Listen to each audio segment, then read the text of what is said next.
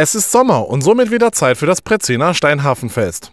Das ultimative Fest, das nicht nur für Wassersportbegeisterte, sondern für alle Interessierten ein besonderes Highlight ist, wird nun bereits zum achten Mal vom Feuerwehrförderverein Prezin e.V. präsentiert. Das Fest für die ganze Familie findet am 2. und 3. Juli diesen Jahres statt. Jeweils ab 10 Uhr startet das Festprogramm für Groß und Klein.